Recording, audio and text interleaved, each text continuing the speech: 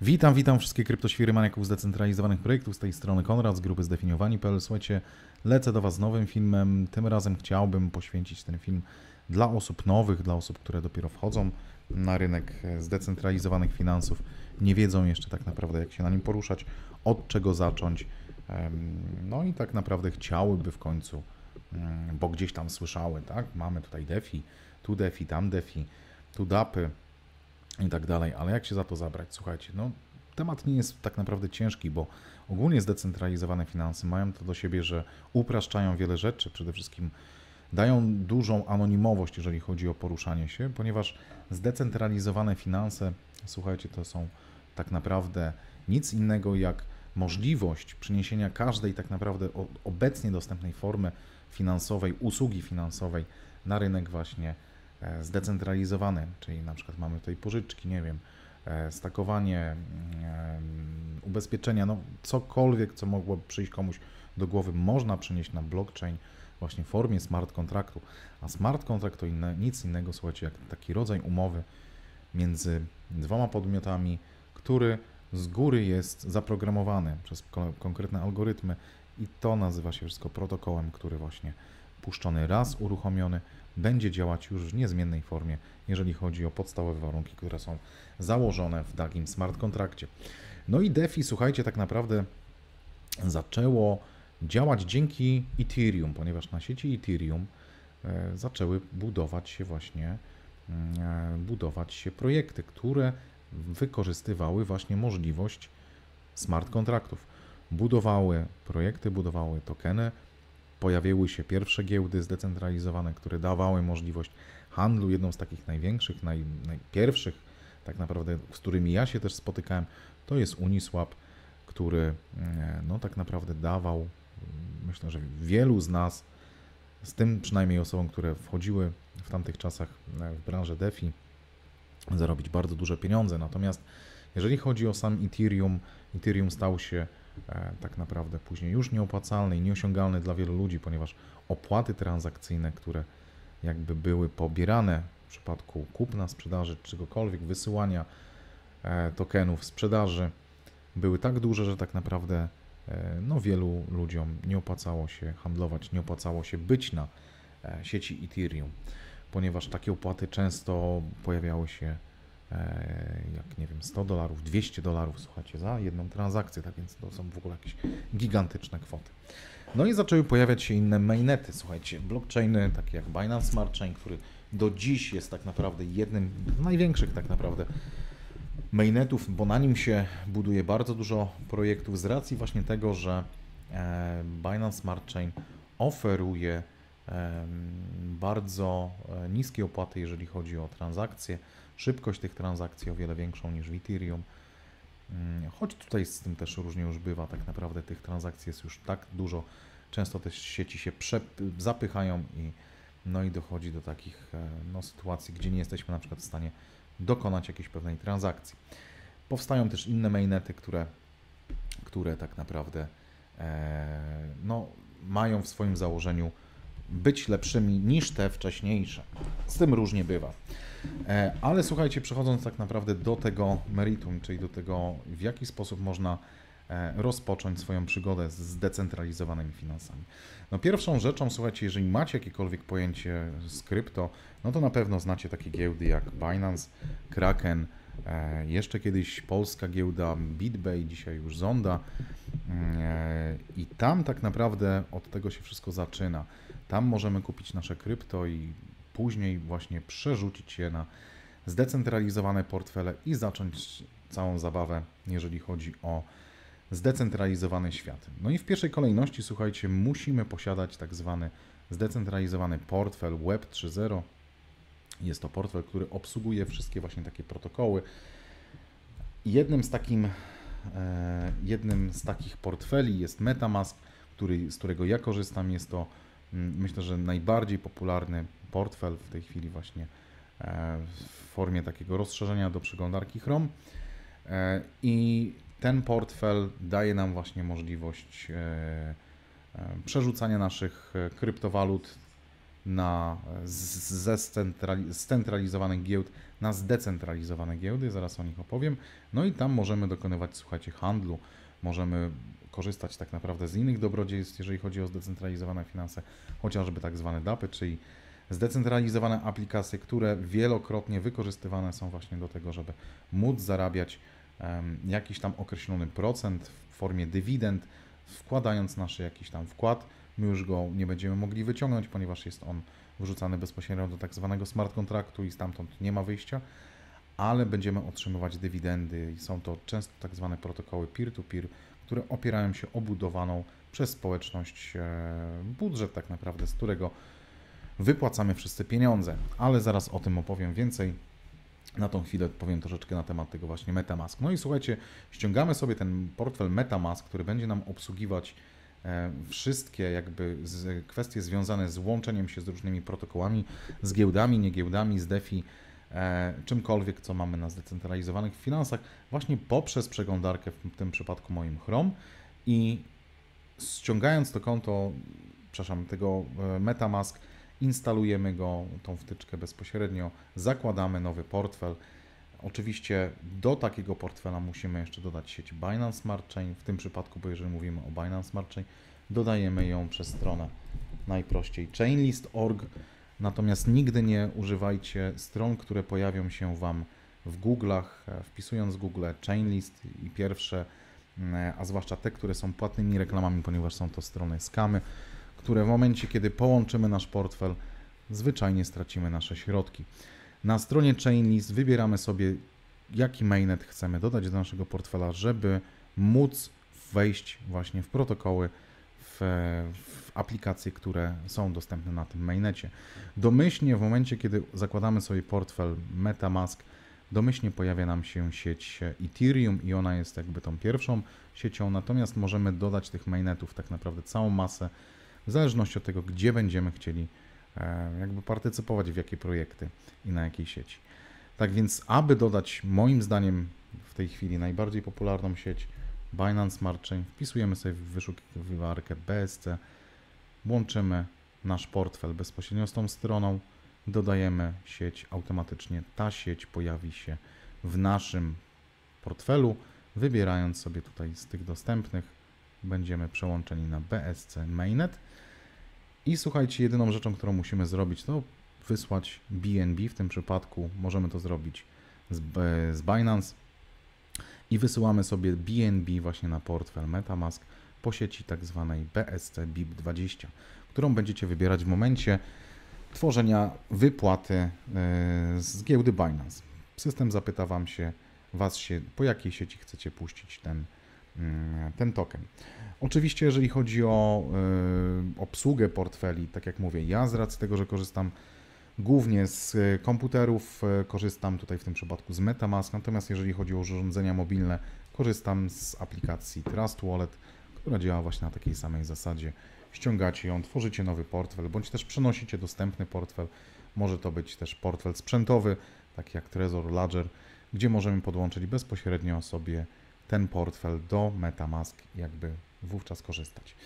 No i słuchajcie, mając już te środki sobie na, na tym naszym portfelu, co my możemy zrobić tak naprawdę? No to, co ja mogę proponować osobom, które e, dopiero wchodzą na ten rynek, to to przede wszystkim po pierwsze dołączyć do naszej grupy zdefiniowani.pl. Tam mamy również taką ścieżkę mm, e, dla nowych osób, które dołączają. W momencie, kiedy dołączacie do naszej grupy, otrzymujecie wiadomość powitalną, w której będzie odnośnik do Zoomu, czyli do nagrania takiego spotkania, w które robiliśmy już e, dobrych kilka miesięcy temu, po to, żeby właśnie wprowadzać te osoby do, do świata mm, a zwłaszcza do świata zdecentralizowanych finansów i, obejrz, to jest jakby podstawą, obejrzeć właśnie sobie to nagranie, dopiero jeżeli później macie jakieś pytania, wracacie i, i zadajecie konkretne pytania, jeżeli coś jest niejasne. No i mając już, słuchajcie, te nasze BNB, zapoznając się z tym naszym Zoomem, tak naprawdę możemy przejść w pierwszej kolejności, e, sprawdzić sobie podstawowe, największe protokoły, największe projekty zdecentralizowane na sieci Binance Smart Chain i tam albo zaryzykować, wejść sobie w jakiś konkretny token, kupując go właśnie poprzez zakładkę Trade i Swap. E, tutaj wprowadzamy jakiś konkretny adres tak zwanego kontraktu przypisanego do konkretnego tokenu i możemy podstawić go bezpośrednio tutaj w zakładce Swap, wklejając ten token, adres tokena, pojawi nam się symbol, wybieramy sobie ten token konkretny, za nasze BNB kupujemy um, takie tokeny, później sprzedajemy je oczywiście, jeżeli zrealizujemy jakiś zysk. Zaraz o tym jeszcze opowiem. Natomiast w momencie, kiedy wejdziemy na PancakeSwap, bardzo ważne jest to, żeby połączyć nasz portfel, właśnie MetaMask, który mamy tutaj w tym momencie, słuchajcie, Connected pokazuje, tylko nie wiem z czym. E, dajemy Connect, wybieramy MetaMask, no i automatycznie nam się ten portfel połączył. I to jest jakby jedyna weryfikacja na tą chwilę, jeżeli chodzi o świat zdecentralizowanych finansów, naszego, naszego, naszej tożsamości, w tym sensie, że tutaj nie robimy żadnego KYC, nie podajemy żadnych danych osobowych, wszystko co robimy tak naprawdę robimy za pomocą e, portfela. I portfel jest naszym takim dokumentem, naszą, e, naszym portfelem, wszystkim co E, co, na, na, czym mamy operować. Tak więc słuchajcie, jeżeli chodzi o dostęp do portfela, musicie koniecznie uważać, nie, też nie przerzucajcie wszystkich środków na jeden portfel.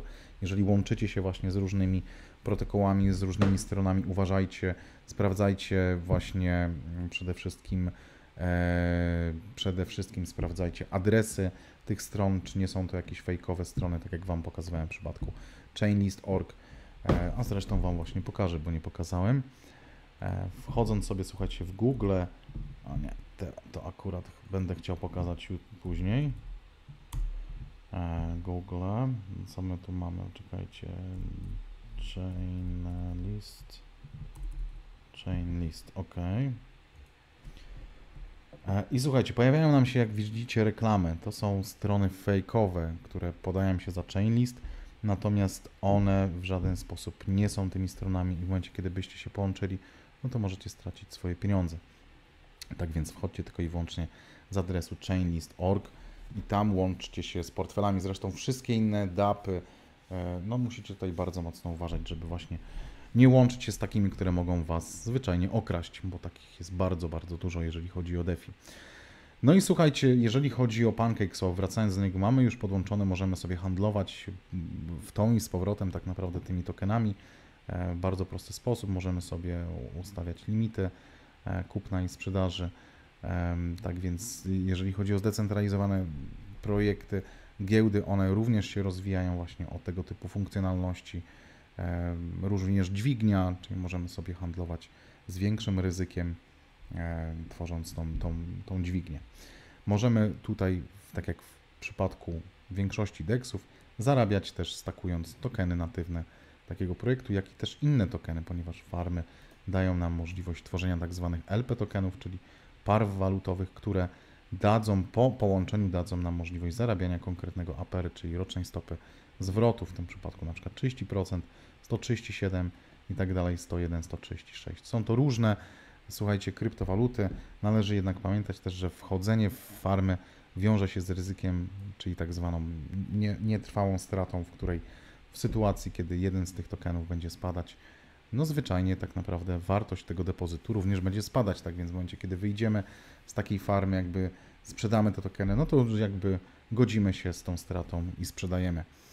I to jest też bardzo ważne, psychika w każdym przypadku, czy to są scentralizowane giełdy, czy zdecentralizowane giełdy, nie ma to znaczenia, słuchajcie, psychika jest kluczowym elementem tak naprawdę naszego być albo nie być, bo w sytuacji, kiedy jest ciężko na rynku, kiedy krwawi, bardzo wielu ludzi tak naprawdę zwyczajnie sprzedaje swoje tokeny, no bo widzi, co się dzieje, zresztą idzie właśnie od tego, wiecie, słuchajcie, taka kula śnieżna.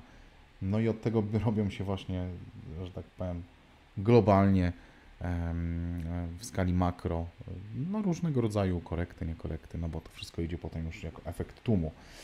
Tak więc słuchajcie, musicie uważać. Musicie uważać, jeżeli chodzi właśnie o, o przede wszystkim czy, czy dane aplikacje, w którymi się łączycie e, w zdecentralizowanych finansach są prawdziwymi. Pojawia się bardzo dużo skamów. Ja głównie w tym roku, słuchajcie, nastawiłem się na zarabianie pasywne, jeżeli chodzi o zdecentralizowane finanse. No i mam już w tej chwili ponad 40 różnych aplikacji, tak zwanych DAP-ów, które dają mi jakieś tam jedne więcej, drugie mniej e, kasy, jedne padają, drugie mają się świetnie, tak więc to słuchajcie, tutaj też musimy brać pod uwagę właśnie różne opcje, jeżeli chodzi o, jeżeli chodzi o mm, ryzyko. Zawsze miejcie świadomość tą i z tyłu głowy to, że w każdej chwili taki projekt może się zwyczajnie wywalić. Tak więc ja, jeżeli słucham, słuchajcie, osoby, które gdzieś tam płaczą, marudzą, że o, ktoś tam stracił pieniądze, nie stracił, no to słuchajcie, z takimi osobami nie rozmawiam, bo widzę, że po prostu nie mają świadomości, nie są dojrzałe na, do tego, nie nadają się tak naprawdę do krypto, bo na krypto można zarobić, ale można też i stracić bardzo dużo pieniędzy. Są ludzie, którzy biorą kredyty, są ludzie, którzy biorą swoje wszystkie oszczędności i pakują je do różnych projektów, a potem płacz i lament, bo straciłam, straciłem pieniądze. Ostatnim takim przykładem jest Luna chociażby, gdzie ludzie stracili ogromne, ogromne, słuchajcie, fortuny, pieniądze, a zwłaszcza ci, którzy byli tam zapakowani bardzo dużo, ale nie o tym teraz mowa. Tak więc słuchajcie, PancakeSwap łączymy się bezpośrednio z wcześniej zainstalowanym portfelem, na którym mamy już nasze BNB wysłane na przykład z Binance po sieci Binance, BIP, BST BIP20 i możemy, słuchajcie, hulać, możemy, tak jak mówię, stakować sobie te tokeny w, w tak zwanych farmach. E, ten Zoom, o którym mówię na grupie zdefiniowani, pokazuje właśnie jak tworzyć te LP tokeny, jak tworzyć tą płynność, tak więc to sobie zobaczycie. Natomiast możecie też stakować e, w tak zwanym single pool, e, gdzie możemy wybrać sobie konkretny token, stakujemy go, mrozimy go na jakiś określony czas przez nas, bo w każdej chwili możemy wyjść z, z tych, tych pól farmingowych czy miningowych i będziemy otrzymywać konkretną stopę zwrotu w tym przypadku w tokenie Cake. Każda giełda ma podobne rozwiązania, chociażby kolejną giełdą e, zdecentralizowaną jest Biswap, która jest tak naprawdę zaraz myślę, że po, po PancakeSwap już jedną z największych DeFi. E, tak więc e, no tutaj mamy też właśnie duże możliwości, jeżeli chodzi o stakowanie, zarabianie. Wszystko zależy od nas, co chcemy. Czy chcemy grać spekulacyjnie, i handlować po prostu różnymi tokenami, realizować zyski bądź też straty, jeżeli ktoś nie jest w stanie jakby wytrzymać, bądź też zwyczajnie stakować, tylko że pamiętajmy, że tutaj też w każdym przypadku mamy ryzyko, ryzyko po prostu wartości, e, wartości takiego tokenu. Tak więc słuchajcie, do wyboru, do koloru, jeżeli chodzi o zdecentralizowane giełdy, są też właśnie zdecentralizowane protokoły, czyli tak zwane DAPy, które dają nam również możliwość zarabiania jakichś tam środków właśnie w sposób taki e, ciągły, w tym sensie, że możemy otrzymywać e, możemy otrzymywać zwyczajnie dywidendy, tak jak chociażby było to w minerach. Minery już odchodzą tak naprawdę do lamusa. Myślę, że e, nic tam już się zbytnio ciekawego nie stanie, jeżeli chodzi o minery. Takie nazywamy przynajmniej. Tutaj wrzucamy określoną ilość pieniędzy naszych i, i, e, i w, możemy otrzymywać tutaj w tym przypadku 8% dziennie w formie dywidend. Nie możemy wypłacać naszego depozytu, ale możemy wypłacać dywidendy. I tutaj projekty zachowują się różnie, dlatego ja mam ich aż tak dużo po to, żeby w sytuacji, kiedy na przykład Baked Beans się wywali, czy jakikolwiek inny projekt, którym jestem, czy Stable Found, to mam, słuchajcie, masę innych projektów, które daje mi jeszcze jakiś tam dochód. W tych projektach ważne jest to właśnie, żeby dywersyfikować nasze, e, nasze środki, żeby nie wrzucać, broń Boże, wszystkiego do jednego kotła, bo to jest najgorsze rozwiązanie. Tak więc słuchajcie, masę różnych rzeczy, wszystko to znajdziecie u nas na zdefiniowanych. Zapraszam Was serdecznie na tą grupę. Zapoznacie się z podstawowymi informacjami, z podstawowym link, zoomem, który właśnie pokazuje, czym się zajmujemy.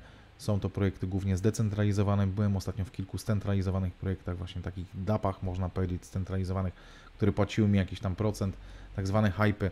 No niestety padły, więcej już w te hypy nie będę wchodzić, scentralizowane i tyle. Tak więc też mam kilka, słuchajcie, takich, raz na jakiś czas zdarzają się ludzie, że jeden ktoś tam płacze, a bo ja wszedłem w to, nie straciłem i tak dalej. No słuchajcie, no dlatego mówię, w każdym filmie powtarzam, zresztą na grupie również, 100% ryzyka. Jeżeli sobie tego nie uświadomicie, z tym się nie oswoicie, no to nie wchodźcie w ogóle, nie marudźcie, nie zawracajcie głowy, bo nie ma to najmniejszego sensu. Ja nie jestem tutaj, żeby kogoś, e, że tak powiem, uczyć podstaw funkcjonowania w życiu. w społeczności. Tak więc słuchajcie, tyle z mojej strony, jeżeli chodzi o takie, taki wstęp, tak jak mówię. Jeżeli chodzi o nowe osoby, które nie miały wcześniej styczności. Portfel, ładujemy portfel, wybieramy, słuchajcie, tak naprawdę e, te aplikacje, te protokoły, te projekty, które, w których będziemy się czuć najlepiej. Jeden będzie zwyczajnie handlować, e, bo jest spekulantem i bardzo dobrze się w tym czuje.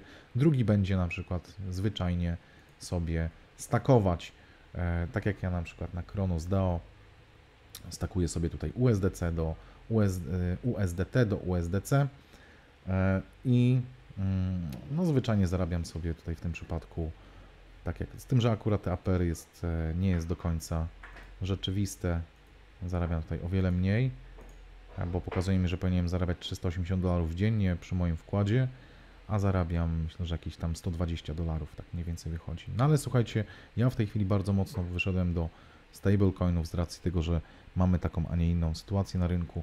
No i chciałbym po prostu gdzieś tam ulokować sobie te stablecoiny, żeby też mi one pracowały. Poza tym, że mam jakieś tam środki poulokowane w różnych projektach, w różnych dapach, to też chcę mieć możliwość wyjścia w każdej chwili z, takiego, z takiej farmy, e, jeżeli mam taką potrzebę.